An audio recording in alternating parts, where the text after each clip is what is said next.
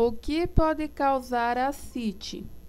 A ascite ou barriga d'água é o acúmulo anormal de líquido rico em proteínas no interior do abdômen, no espaço entre os tecidos que revestem o abdômen e os órgãos abdominais. A ascite não é considerada uma doença, mas sim um fenômeno que está presente em várias doenças, sendo a mais comum a cirrose hepática. A ascite não tem cura, porém pode ser tratada com remédios diuréticos, restrição de sal na alimentação e com a não ingestão de bebidas alcoólicas para eliminar o excesso de líquidos no abdômen. Os líquidos que podem se acumular dentro do abdômen podem ser o plasma sanguíneo, que é o nome dado ao líquido do sangue, e a linfa, que é um líquido transparente presente em todo o corpo que faz parte da circulação das ínguas. Sintomas de ascite. Os sintomas de ascite estão relacionados com volume de líquido no interior do abdômen. No início, geralmente a ascite não apresenta sintomas. No entanto, em caso de ascite volumosa, podem ocorrer sintomas como inchaço e crescimento da barriga, dificuldade para respirar, dor no abdômen e nas costas, perda de apetite, ganho de peso sem razão aparente, sensação de peso e pressão no abdômen, vontade de urinar frequente, prisão de ventre, náuseas e vômitos. A ascite pode ser acompanhada de outros sinais e sintomas, como aumento do fígado, inchaço nas pernas e pés ou olhos e pele amarelada, dependendo de qual seja a causa.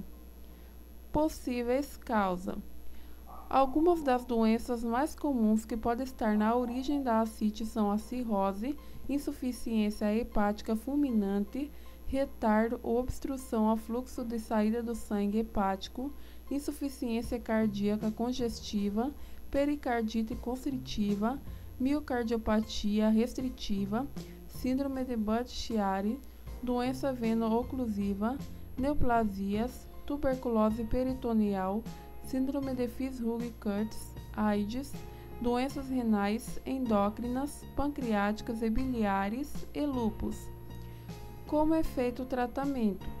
O tratamento para a ou barriga d'água depende da doença que está na sua origem, podendo incluir repouso, preferencialmente com a pessoa deitada, remédios diuréticos, restrição de sal na dieta, que não deve ser superior a 2 gramas por dia, através de um plano alimentar indicado por um nutricionista, interrupção da ingestão de bebidas alcoólicas, restrição da ingestão de líquidos quando o sódio sérico for menor que 120 gramas por ml, para a centese abdominal, nos casos graves em que o tratamento com remédios diuréticos não está dando resultado, que é um procedimento médico com anestesia local, no qual é introduzida uma agulha no abdômen para extrair o líquido da ascite.